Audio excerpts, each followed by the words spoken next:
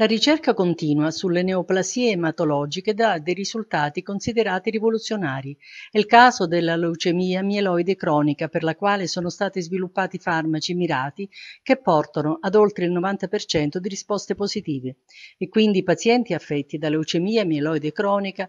seguita la nuova cura, hanno prospettive e qualità di vita simili alle persone sane. Eh, stiamo parlando di malattie neoplastiche del sangue che prima avevano una fama molto brutta di malattie eh, poco curabili o per niente curabili.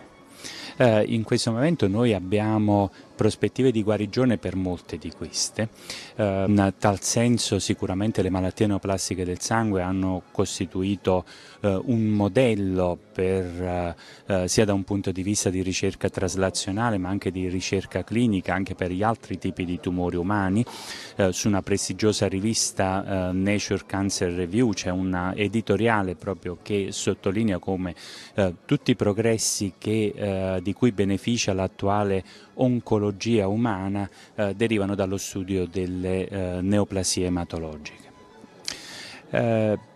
Nel caso della leucemia meloide cronica eh, sicuramente abbiamo eh, in questo momento un esempio consolidato eh, di eh, possibilità di guarigione di una malattia neoplastica utilizzando una terapia orale a bersaglio molecolare con minimi o nulli effetti collaterali, quindi con una ottima qualità di vita